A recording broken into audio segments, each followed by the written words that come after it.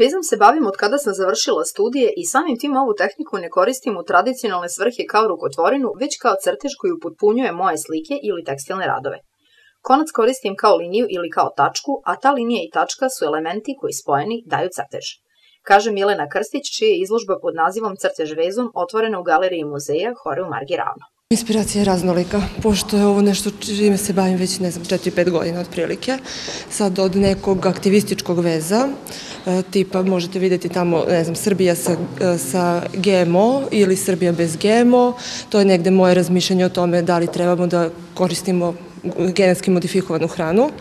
Onda, ne znam, dok nekih pejzaža gde je linija, gde je crtež vezom samo jedan od likovnih elemenata, do, ne znam, nekih drugih radova koji su samo čisto koloristički i kompoziciono e, napravljeni tako da e, ti vezovi predstavljaju samo jednu celinu.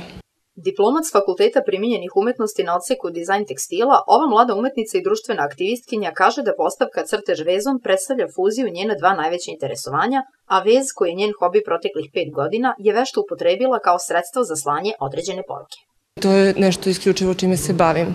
Aktivizam je jedan dobar deo, segment mog života, a takođe i umetnost i onda gledam da kroz tehniku veza, koja je negde neki ženski princip u stvari, da kroz taj neki ženski princip i žensko stvaralaštvo ja negde pošaljem neku poruku, e, ne znam, nekim ženama, ljudima i Uglavnom se bavim ili e, imam neke radove koji su vezani za e, borbu protiv naselja u porodici, sad ta poruka može da bude čitljiva, a i ne mora, sve zavisi ko to posmatra, ali se ja trudim da ta poruka izvezena bude e, e, čitljiva svima, ne samo umetnicima.